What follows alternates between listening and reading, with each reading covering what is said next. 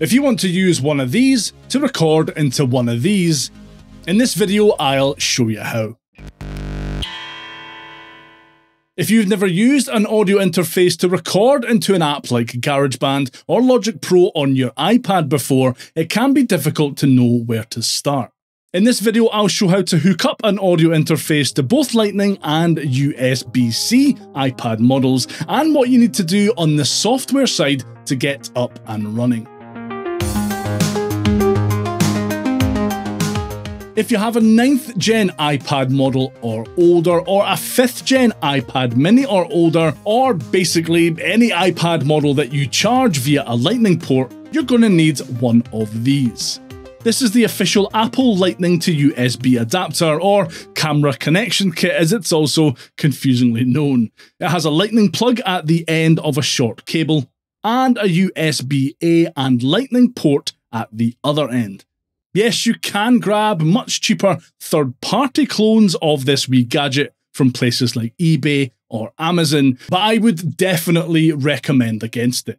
Apple are notorious for pushing out regular updates that can make unofficial Lightning based peripherals and cables obsolete, if they work at all. So, my advice regarding these adapters is to pay a little bit more and get the real deal from Apple you'll save yourself some headaches further down the line. Trust me. First step is to plug the adapter's lightning connection into the lightning port of your iPad. Next, connect your audio interface's USB plug to the adapter's USB port. Here is where you'll probably run into a bit of trouble.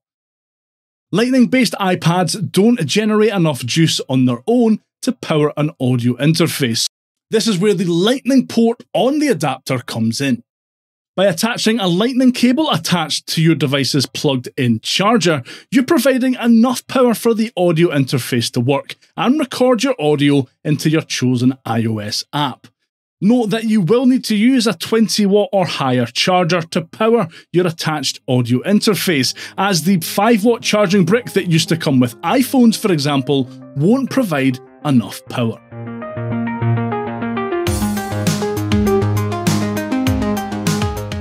Every other model of iPad has a USB-C port, and getting up and running is a much more straightforward process. In fact, if you have an audio interface with a USB-C output, like this one or this one, you can grab a USB-C to USB-C cable, plug it directly into your iPads, and you'll be off to the races.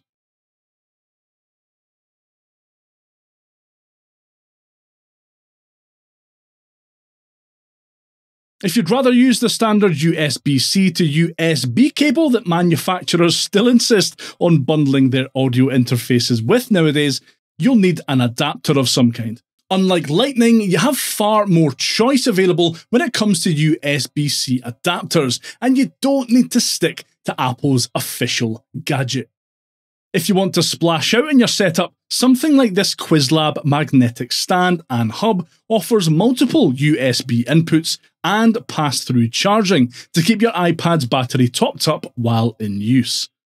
If you'd rather something a little more discreet and wallet friendly, this Anker hub attaches to the side of your iPad and gives you the connectivity you need, as well as a built in headphone jack. However, you get your audio interface connected, USB C port equipped iPads output enough power from that port to run it without any extra juice. Just plug it in and you'll be ready to go.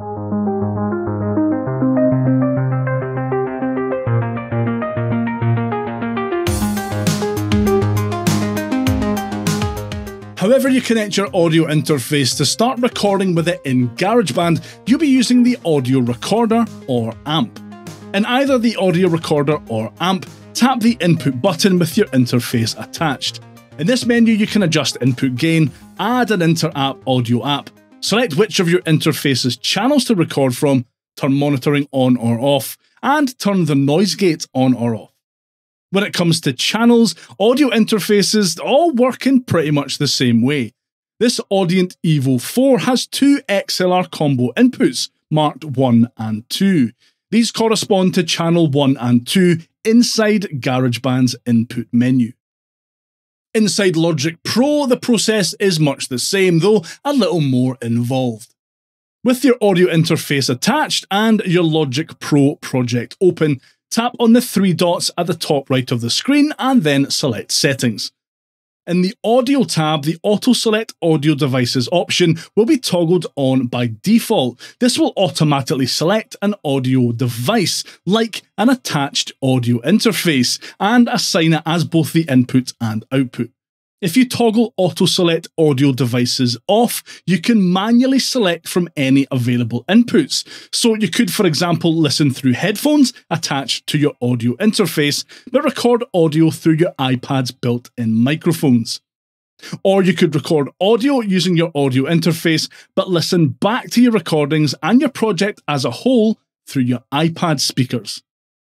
There are so many different audio interface options out there nowadays that deciding which one to go for can be quite a difficult decision.